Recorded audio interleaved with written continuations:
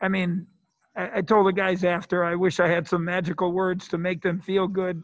Obviously, wins and losses are the most important thing. And, um, you know, again, uh, our, our effort was good. Um, we played against one of the best teams in the country, and they they played at a high level, and and uh, they had not played at a high level. Obviously, they shot 25% the last game.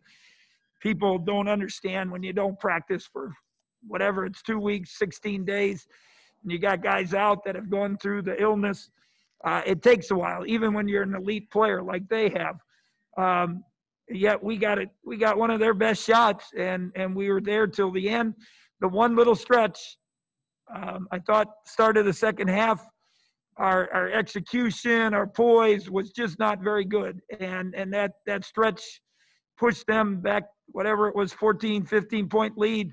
But again, our guys um, got refocused and uh, we gave, we, I thought our defense in that last like eight ten minutes was as good as it's been all year because they, they want to take us and they're elite guards and they can take us. And, we stayed in front of them. We made them take tough shots. We rebounded.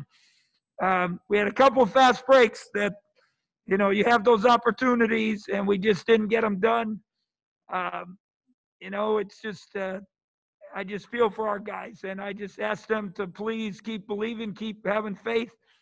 You know, a few weeks ago they beat us by a, a large sum, and now we played them, and they probably even played better than they did that time. And it it came down to the end, and uh, but we just could not get a win. Thank you, Coach. We'll start with questions. Uh, the first one from Kellis Robinett.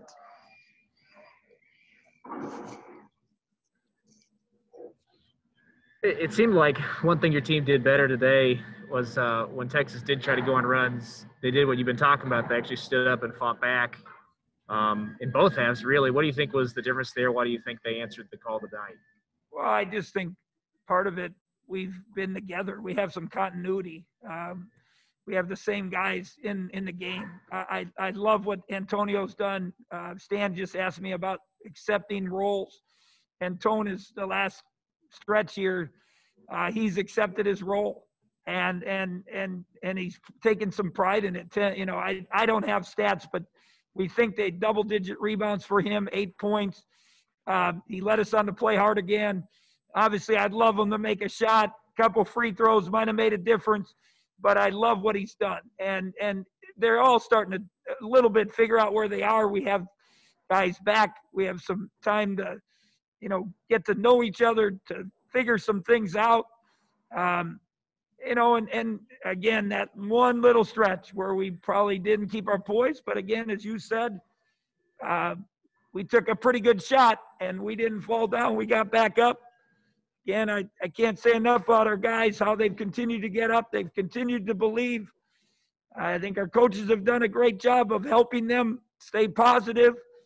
And now we got to got to do something to change the outcome. And, and, and it's, you know, I, I I was hoping maybe they'd miss some shots tonight like they did Saturday, but they didn't. They didn't miss many. They made a whole bunch.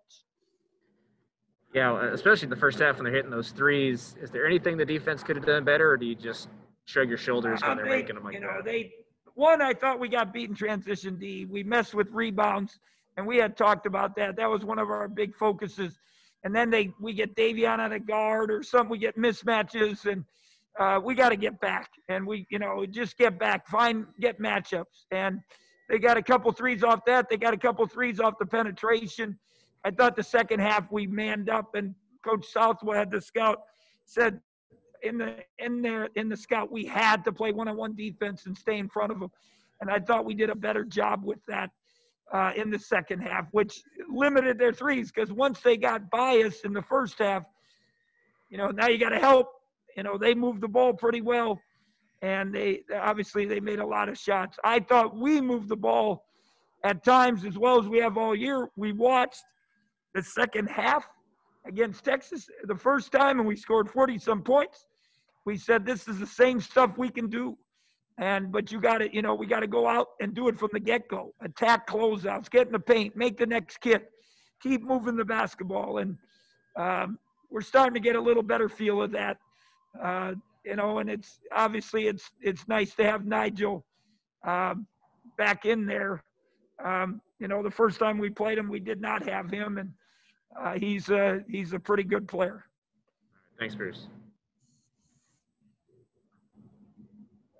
Okay, next question is John Kurtz.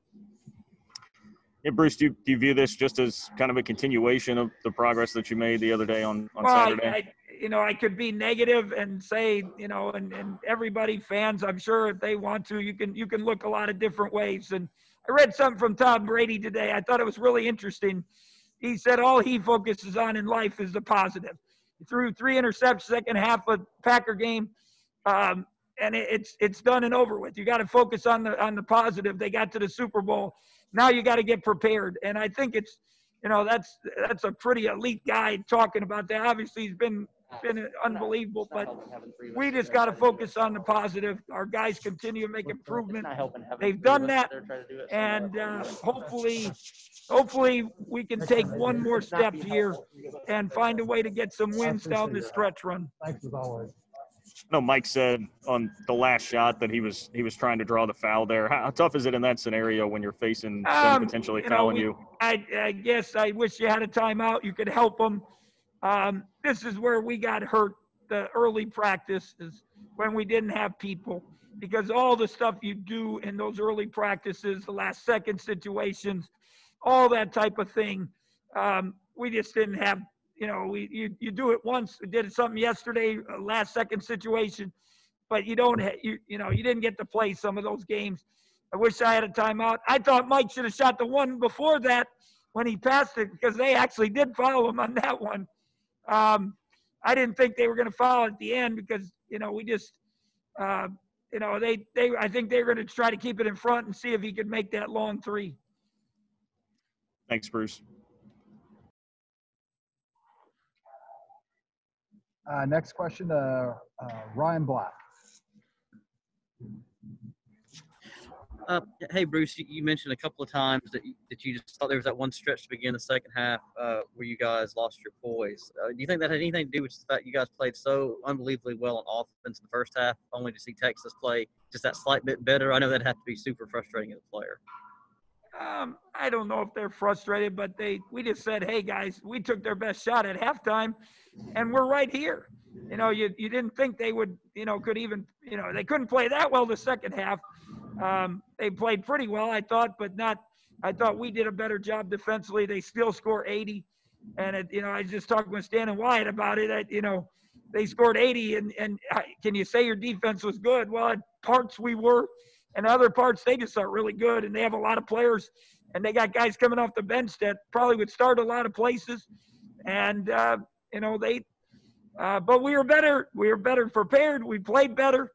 Um, you know, just like I said, that little stretch maybe could make a difference.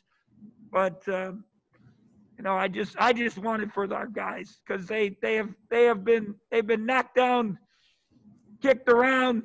They keep getting up, and that that goes a long way about character building and becoming a, a man and and your and your future.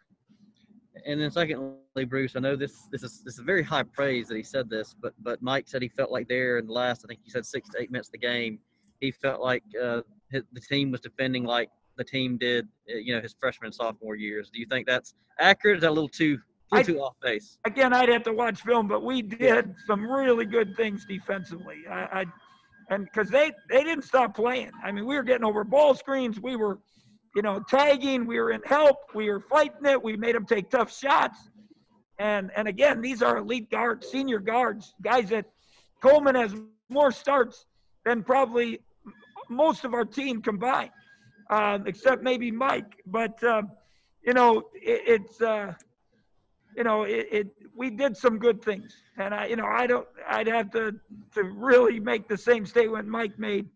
Um, I'd have to watch the film, but we we definitely have, are much better than we were a couple weeks ago, um, and now you just just hope we can figure something out. One more step, keep our guys out of foul trouble. You know, those type of things. Thank you so much, Bruce. Okay, next question to Michael Goins. Yeah, Bruce, just uh, your ability to, to withstand their pressure and and limit the turnovers tonight. I think you had three in the first half, uh, seven in the second half. Yeah, I mean, and seven, the seven, some of those, those weren't, you know, against the press. They were just like careless mistakes, unforced errors, um, and a couple offensive fouls or screening fouls. Those are always turnovers. So we had a few of those, but you know that uh, again a major difference from the first game where they just like, you know, we're going to press you and we're going to take the ball away from you, and that's how they had the big run. Um, we took a little more time, you know, the last couple day or yesterday for sure, and a little bit Sunday. Uh, press breaker, we went through some trap drills uh, where you had to fight through some traps, and I thought our guys did a pretty good job of that. And you like to talk about offensive flow. It seems like it's it's really improved here the last two games. I, I think starting with uh, Texas A&M, I don't even know it. I minus blank who we played before that, but um, you know, I, I think we have we've made some flow. We we've gotten better and understand how to keep the ball moving. Um, you know, doing some we we're doing some good things, and uh, you know that again, there's some continuity there. We have the same guys in there. Uh, we've been able to, uh, you know, play off of Nijel a little bit, and uh, we've gotten better. There's no doubt. Thank you. Any other questions for Coach before we let him go? Okay, thank you, Coach. I appreciate your Yeah, I did. I wanted to mention about K State Proud. I would say I got the T-shirt on. Uh, it's an unbelievable organization. Uh, it's and I've been a lot of places, and I, I don't know if there's any other place in the country where students help other students and get them through tough times and financial times and donate money. Uh, it's it's a it's a great thing. Uh, we, you know, we told our guys. I hope they're proud to be part of K State. I hope they donate. Um, you know, to help others.